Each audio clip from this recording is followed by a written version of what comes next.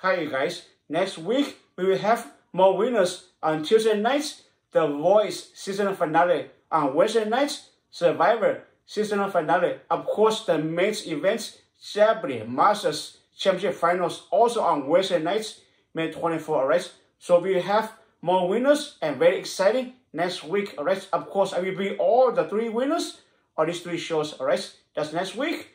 Thank you very much for watching. Good night. Bye.